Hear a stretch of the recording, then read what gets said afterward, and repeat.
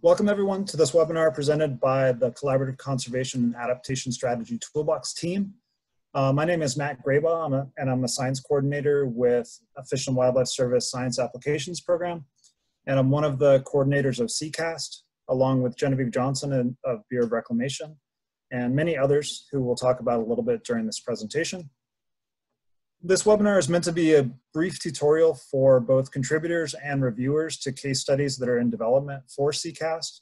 So we're hoping that this will be a useful uh, tool for people that are either being asked to uh, complete and submit case studies for CCAST or for folks like our working groups that are involved with the peer review of case studies.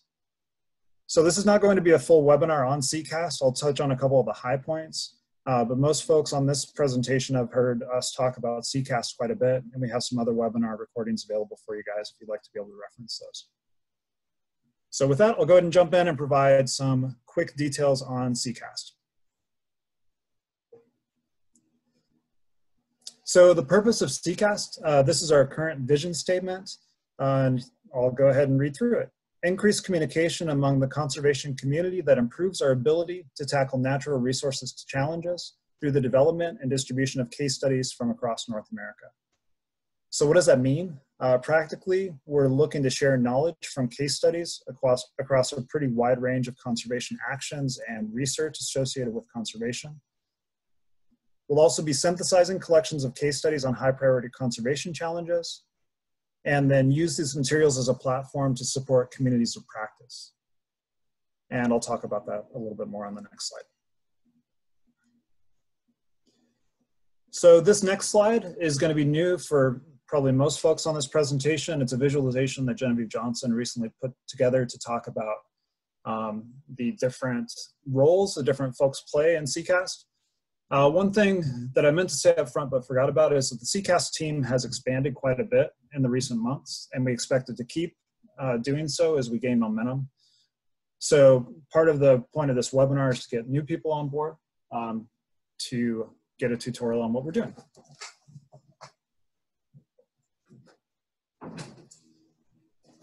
So first on the left, we have three current coordinators for CCAST overall uh, Genevieve Johnson with Bureau of Reclamation, myself with Fish and Wildlife Service, and then a relatively new addition here is Sky Aney from New Mexico State University and the USDA Southwest Climate Hub. Then we have a few community of practice or synthesis leads. One of them is Alex Caberly, who's on the call here, and then Tanya High, who is with, um, with the Drought Learning Network as well we have several case study authors, and there are a handful of them listed here on this slide, and then many others. Um, as this team has grown, we don't have enough room on one slide for those folks. We also have two developers and data managers who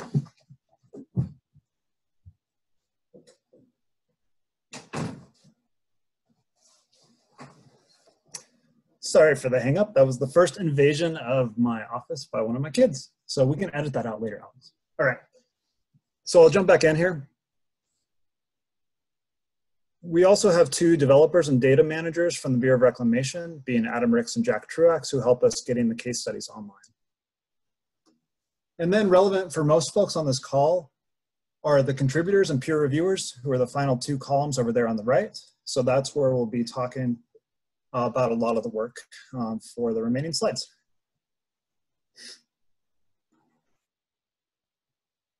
So to help get us launched here, I'm going to talk just for a few minutes about the CCAST uh, development process. Um, so first, the work that's been done by the CCAST team and our partners is to identify thematic topics of highest priority for case study development. And as we do that, we also prioritize, prioritize studies, uh, case studies for development. Uh, we do that you know, internally on our project team, and we also collect case study ideas from folks that contribute those to us. Then there's a process of outreach and inreach to the contacts uh, for potential case study contributors, especially when those ideas came to us not from the contributors themselves.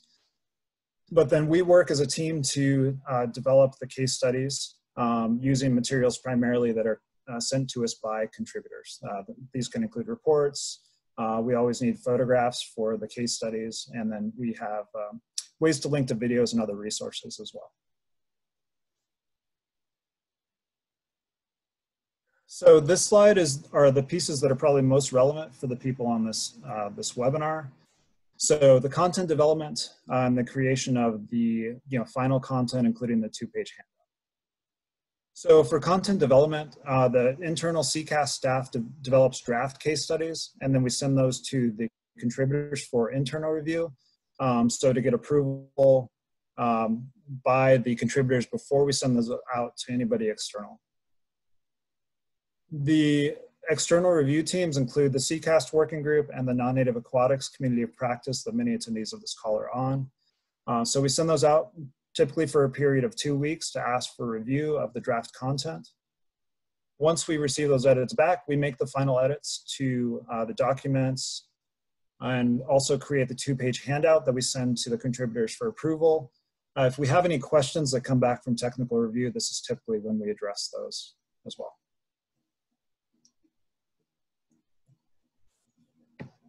So what we're going to spend some time about for the rest of this presentation is talking about how we go from this, this mess on the left, which is a case study that is um, has several active edits going on, and how we go from that draft content to this, which is the you know the front page of a two-page handout. In this case, this is for uh, Apache trout recovery in Arizona.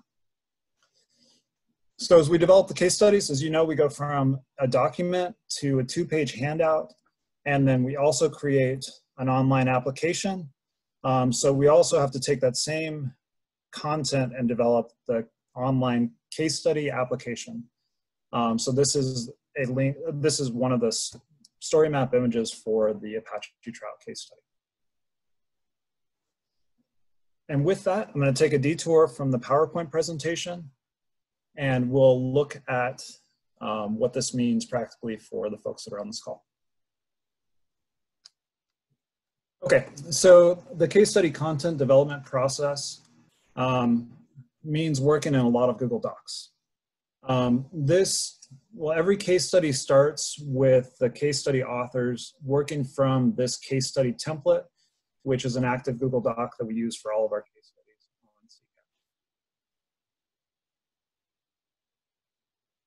There are some fairly, well, your first glimpse at this Google document and the, the draft version that I'll show you next can be confusing because there are some repetitive sections and we'll go through that a little bit.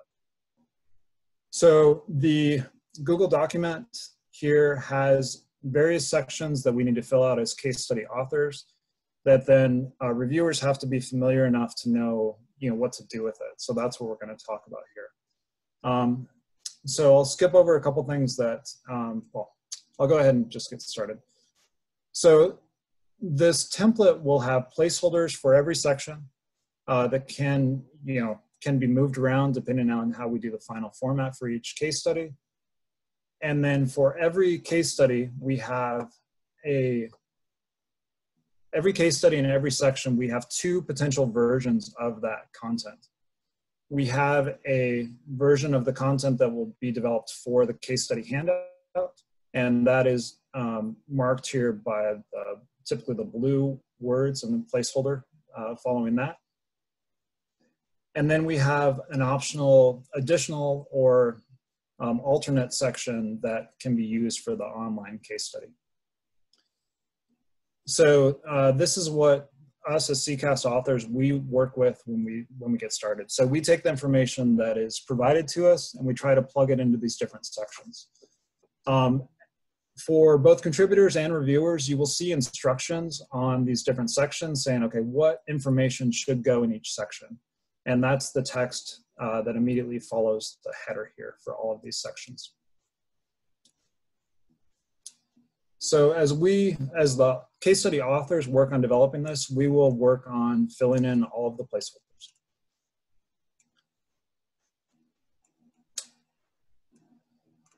The one thing I'll go ahead and say here is depending on how we develop the content, um, the handout version versus the online content can be a little bit confusing. And I'll give you an example. Sometimes we'll have one paragraph that we use for the case study handout, uh, the handout version of the case study. And we want to provide additional in-depth information just on the content that's in that paragraph. In that case, we will denote in here that it's an alternate version for the online case study. And as the uh, data developers, so as Adam and Jack develop the case study online, they will know that they should use this content instead of this content. The other option will be we have some general background information here, but we want more space to go in depth, and it's a paragraph that should be added to the case study handout version, and we'll denote that here in the text as well. You know, harping on this a little bit, is sometimes it can be confusing because we've had reviewers look at this section, the handout version, and this section and say, hey, these say the same thing, why are you repeating information? And the reason for that is, is that those are four different versions of the case study.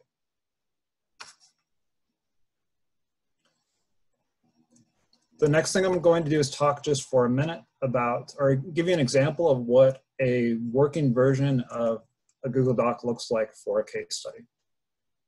So for this example, I'm going to keep on the Apache Trout uh, project. So um, once we have a final internal, or once we have a draft internal version of the Google Doc, being that it's been approved by the CCAST team and the contributors, we'll send out a version that will have this uh, tag at the end that is for review. And we add that when we send it out to the CCAST working group and the non-native aquatics community of practice to ask for, so that's what that denotes for us, because we keep an archive of the previous versions. So uh, for people that are normally just reviewing case studies, this is what it will look like when it gets to you. It will have some, some of the notes in here still. It will have a case study reviews table that I'll talk about a little bit in a minute and then it will have draft sections in here for all of the, yeah, it'll have draft sections in here. So um, this example, this again, Apache Trout, we have a handout version of the background and introduction. And in this case study example, we have a totally alternate version that is going to be used for the online uh, case study application. And a couple notes on this, and we'll look at the example application here in just a couple minutes. Um, but you'll see the guidance here for word count. 80 to 90 words is typically the maximum that we can fit in this section for the two-page version of the handout. So uh, when I go here and look at the word count, uh, we have a little bit of wiggle room here, but we're looking at about 100 words for this version of the background and introduction. Online application, we have quite a bit more space, so we tried to give up to about 300 words for the section uh, that is for the online version. Um, again, you will see some repeat information. Um, Apache trout found only in the waters of the White Mountains, Apache trout found only in the waters of the White Mountains. So that repetition is on purpose, and we'll look at why here in a minute.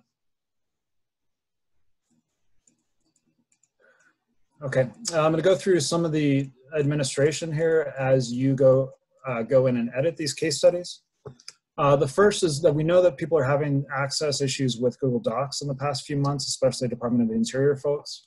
Uh, we tried to change the permission so that anybody with a link can edit. Uh, it sounds like that is work, but we're still having some issues, so we're working on resolving that still. Um, so we might have updates on that soon. We might have to migrate to Outlook, um, to Outlook, to Microsoft Word uh, but we'll keep you guys in the loop as that happens. The process otherwise is still gonna remain the same. So as you go through and are providing edits to the case study, the first thing we ask that you do is put your name, organization, uh, name and organization here in the review table. And what that lets us do is just document that we've had a review process for the individual case studies. Um, so if I was going to go through and make edits to this right now, I would put my name in here, affiliation, um, and then as you are working through a case study, you can either just put comments directly in this table. Um, so I'll just put an example. I can put a comment in here directly in this table, or I can go through and insert comments in the document. So um, in Google Docs to do that, you highlight and you can click this add a comment bubble to the right, or you can click the add a comment up at the top. So if you can feel free to add as many comments as you want to this case study. Um, you can also feel free to um, edit using the suggesting mode. So in Google Docs, if you go up here to the right, you pull down this, and click on suggesting.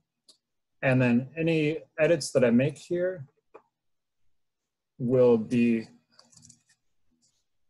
in the track changes version that then we can go through and edit uh, for the final version. Um, the final thing I'll say on this is we know that lots of folks access these and you're not going to take the time to go through and put in a ton of comments and edits and that's totally fine.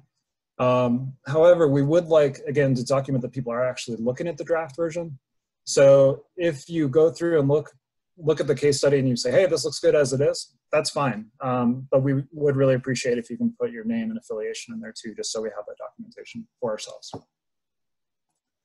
I'm gonna delete this before I forget to delete the suggestion. A final note here on review. Um, as we go through this and as we develop the final handout and online version, we're, we know that we're gonna find additional typos and editorial stuff like that. So don't worry about that too much.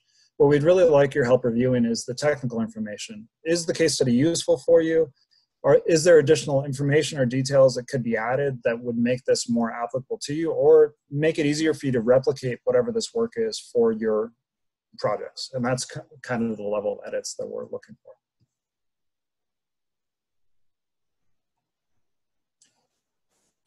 Okay, so with that, I'm going to move on and to the final version of the Apache Trout case study. So that, again, this has the for review.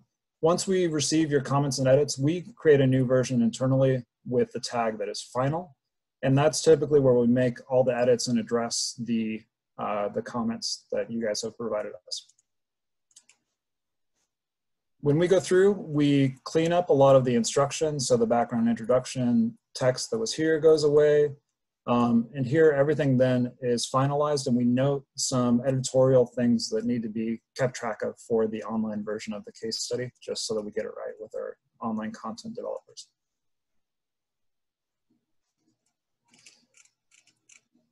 So what I'm going to do quickly, and let's pick a different section than the, uh, the background.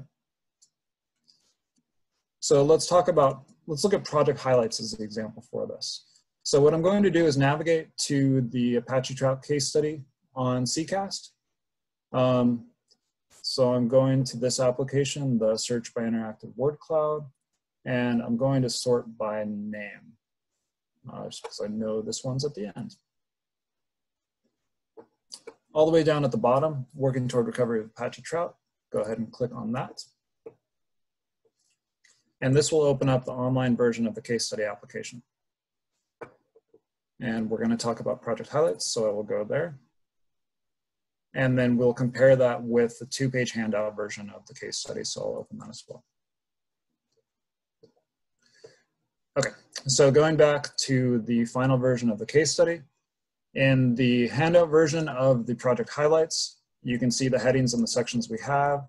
Again, trying to keep it to the 130 to 150 words so that it will fit in the case study handout. So we will take this content for the handout version and make sure that it fits in the highlights, the case study, which has been done here. Uh, you know, quick note here, sometimes we have to make final, very minor changes just to make it more concise so that it'll actually fit once we get all the sections organized. But anyway, that's, that's where those end up. So you can see the handout version, we have two different, or excuse me, three different paragraphs for the highlights and that reflects the three different paragraphs that are here in the highlights for the handout version. Now I scrolled down to the online version of the project highlights and you can see we have five different paragraphs, much more information, and that is reflected in here with the five different paragraphs in the project highlights. Uh, the one thing I will mention really quick is, so we take the final version of the Google, we create this draft, and then we do a final review, uh, being the CCAST team, and that's typically when we'll share it out uh, with the contributors and let them know that the case study is online. Um, but the CCAST team will still continue to go through this and just make sure that we didn't miss anything, which we almost always miss at least one thing. Um, so it can be small things like not capitalizing correctly, um, in this case, this case study just went online a couple weeks ago, and I noticed this morning that the URL has not been inserted here for the citation. So there's a final review that we do internally with the CCAST team, and we track those changes in a separate uh, document that we share with our case study developers. And in this case, you know, we have the case study, who made that at the date, and then please update, update the su suggested citation per the Google Doc. So I'll make the change in the Google Doc that needs to be reflected in the online version. So back in the final version, we have updated citation with the correct URL, um, information that needed to be added for CCAST, etc. So that's um, the final review.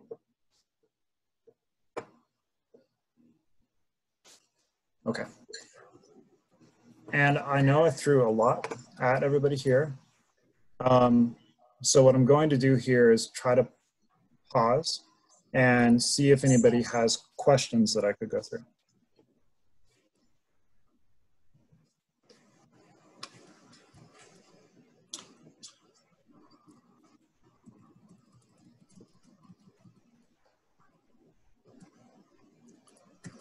And Alex, did we have any questions come in?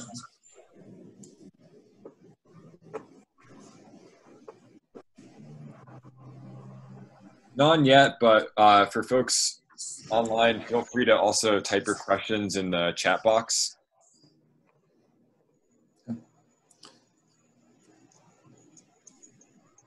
And Alex, did you note anything as I was going through that you wanted to provide clarification on? Uh, not at the moment. Um, yeah, I don't have anything to add at the moment.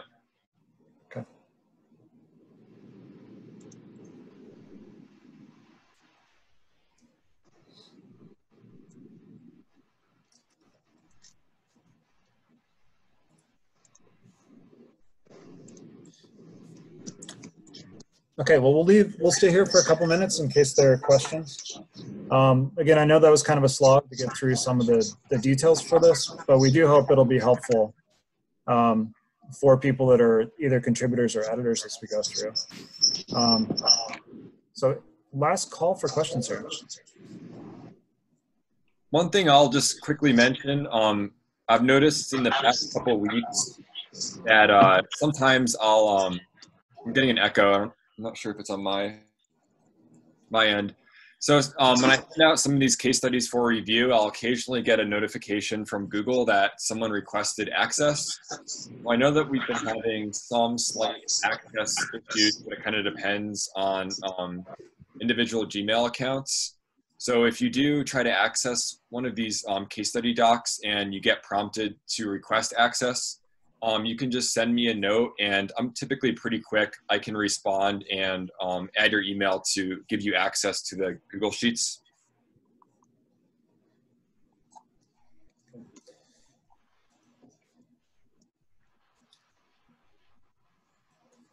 Cool. Thanks, Alex. All right. Well, if there are no additional questions, we'll go ahead and, and call it here. Um, just want to say thank you again to those of you that willing to sit through this tutorial with us uh, for about a half hour. Um, again, this team has grown quite a bit, so I'm not taking credit for all this work. I'm trying not to. Uh, we've got several you know, partners involved in this effort, including Bureau of Reclamation, the Southwest Climate Hub, and the University of Arizona, who Alex works for, um, as well as Larry Fisher, uh, one of the coordinators who's, uh, I believe, also on the Zoom call. Um, so with that, uh, we don't have a master acknowledgement slide, so just leave my email address up here if you guys have any questions, anything you want to let me know. Um, and with that, I think we'll let you all go. Thanks, everyone. Hope you have a great Tuesday.